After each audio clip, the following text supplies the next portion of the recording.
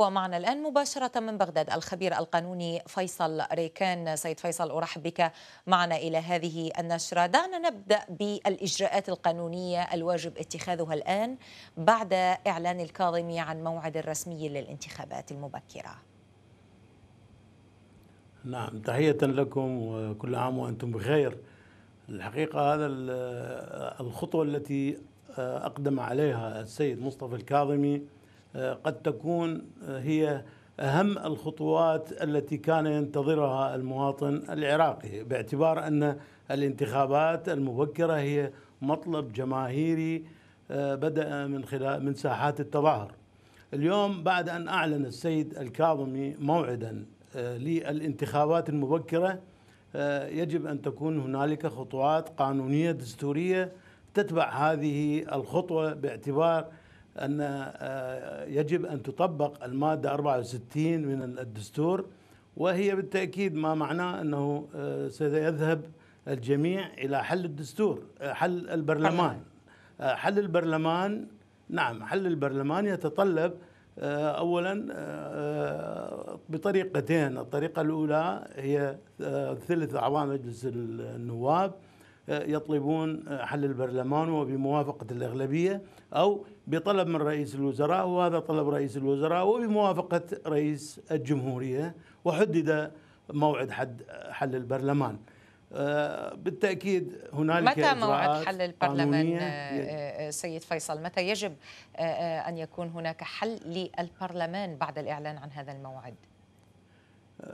بالتأكيد هو أعتقد أنه إذا أريد للموعد المحدد لإجراء الانتخابات المبكرة أن يكون سليما هو آه، قبل ستين يوما من تاريخ إجراء الانتخابات المبكرة باعتبار أن آه، رئيس الجمهورية وفق الدستور وفق هذه المادة يعلن عن آه، اولا آه، إجراء الانتخابات حل آه، اجراءات إجراء الانتخابات المبكرة خلال 60 يوما من تاريخ حل البرلمان. ولكن حتى الآن البرلمان يواجه مشكلات بعدم التصويت على قانون الانتخابات.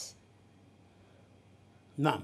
هو الحقيقة هذه الإجراءات لاحقة يجب أن أن أن تنجز خلال على أقل تقدير خلال ستة أشهر. منها دفع قانون الانتخابات إلى التنفيذ ومصادقة رئيس الجمهورية عليه ونشره في الجريدة الرسمية ليكون آه، نافذ.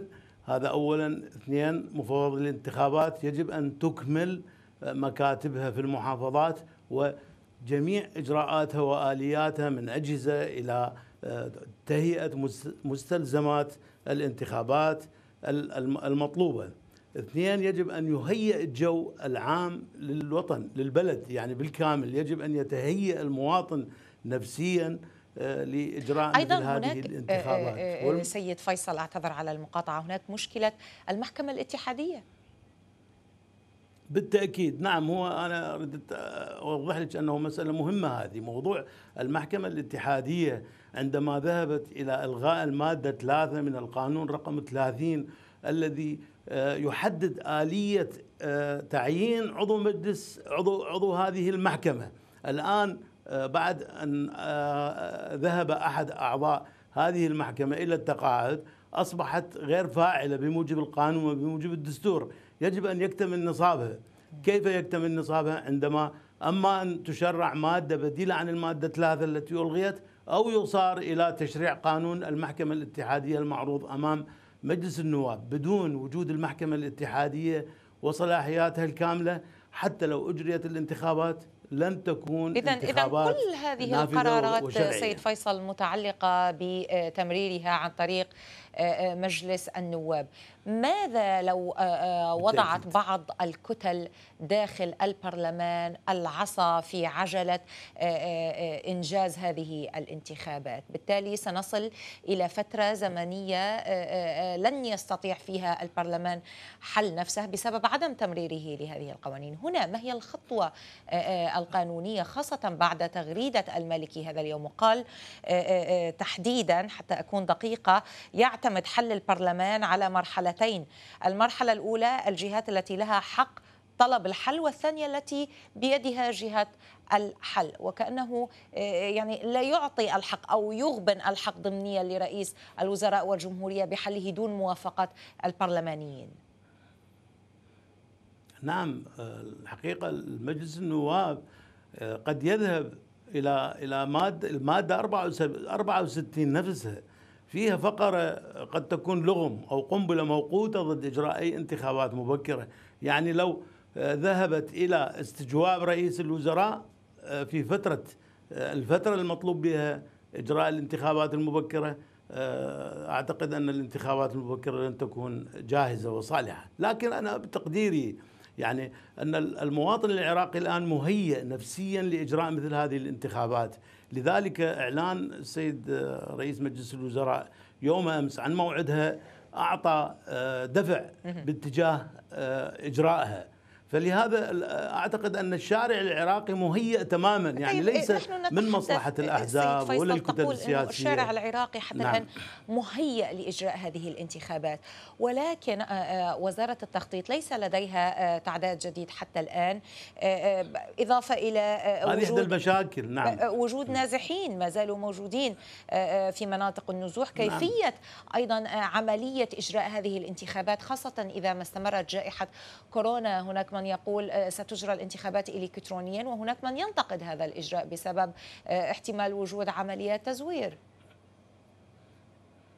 نعم هو الحقيقة هذا موضوع التعداد العام للسكان آه، عملت وزارة التخطيط السابقة في حكومة السيد عادل عبد المهدي على تهيئة الأجواء وتم تشكيل لجان والاستعداد لإجراء انتخاب تعداد عام للسكان جديد. حضرتك تعلمين أنه الآخر تعداد العام للسكان مضى عليه عشرات السنين. يعني أعتقد غير ملائم غير مطابق للواقع الواقع الحالي الآن على أرض الواقع. لذلك آه، كانت هنالك خطوة وكان هنالك وقت لإجراء مثل هذا التعداد. آه، لم تجري لم يجرى بأي شكل من الأشكال التعداد العام للسكان. لكن أعتقد أن هنالك طرق أخرى بالإمكان اعتمادها. يعني إذا كانت لابد أن تجرى الانتخابات في موعدها المحدد الآن هنالك مدة 11 شهر أمام الجهات المختصة وأمام وزارة التخطيط بامكانها إجراء هذه الطرق. هذا التعداد. هذا اولا. نعم. نعم.